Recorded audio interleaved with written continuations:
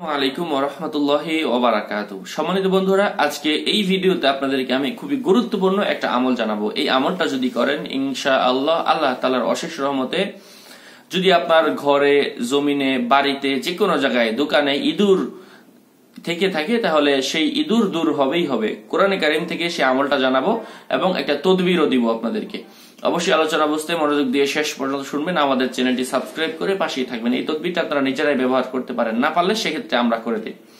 তো বন্ধুরা, জমিতে যদি বেশি ইঁদুর প্রবেশ করে, অথবা আপনার ঘরে, দোকানে বাড়ি ঘরে বাড়ি ঘরের আশপাশে ফসল কেটে ফেলে, অথবা অনেক সময় ঘরের আসবাবপত্র কেটে ফেলে, এই ইঁদুর তাড়ানোর জন্য যে আমলটা করতে হবে, জমির চারদিকে দশ বার করে, অথবা ঘরের চারপাশে চারবার দশ বার করে, দোকানের চারপাশে চারবার দাঁড়িয়ে আপনাকে প্রত্যেক জায়গায় দাঁড়িয়ে দশ বার করে সুরতুল ফাতিহা পাঠ করতে হবে। ঘরের চার কোনায় চারবার দাঁড়িয়ে দশ বার করে চল্লিশ বার সুরতুল ফাতিহা পাঠ করবে, দশ দশ দশ দশ।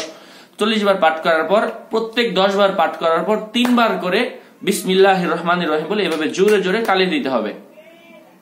তদ্রূপ ঘরের ডান পাশে একবার, বাম পাশে, তারপর আবার ওই ওইদিকে। পূর্ব, পশ্চিম, উত্তর, দক্ষিণ। চার পাশে চারবার দাঁড়িয়ে আপনি চল্লিশ বার সুরতুল ফাতিহা পাঠ করবেন প্রত্যেক কোনায় দশ বার করে।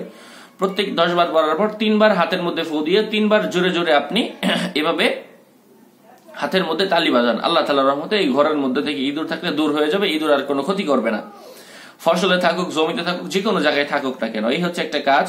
তারপর হচ্ছে কেউ যদি তিনবার আরেকটা তদবির, আরেকটা আমল আছে, সেই আমলটা হলো তিনবার সুরতুল ফাতিহা, তিনবার সুরত ইয়াসিন।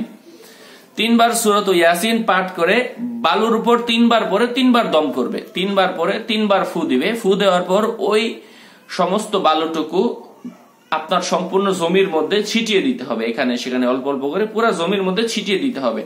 ছিটিয়ে দিলে আল্লাহ তালা রহমতে এই বালুর উপর দিয়ে আর কখনো ইঁদুর আসতে পারবে না। এই হচ্ছে একটা পরীক্ষিত আমল। তৃতীয়ত, যে আমলটা জানাব, ঘর থেকে, দোকান থেকে, বাড়ি থেকে, ফসল থেকে, ক্ষেত থেকে যে কোনো জায়গায় ইঁদুর তাড়ানোর জন্য মারাত্মক একটা তদবির।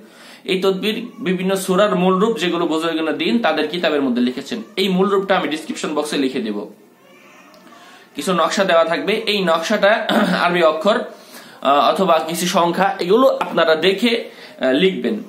লেখার পর এগুলো ঘরের চার কোণে পুঁতে রাখবেন, অথবা ফসলের চার কোণে, দোকানের চারপাশে পুঁতে রাখলে আল্লাহ তালা রহমতে ইঁদুর আপনার কোনো ধ্বংস করবে না, কোনো ক্ষতি করবে না, ইনশাআল্লাহ। আশা করছি বুঝতে পেরেছেন এই বিষয়গুলো নিয়ে আরও অনেক ভিডিও আছে আমাদের চ্যানেলে আপনারা দেখবেন, উপকৃত হতে পারবেন। আমাদের আরেকটা চ্যানেল আছে ডার্ক ব্লু ডিসক্রিপশন লিঙ্ক দেওয়া থাকবে, সেই চ্যানেলটা সাবস্ক্রাইব করতে বলবেন না। আসসালামু আলাইকুম রহমতুল্লাহ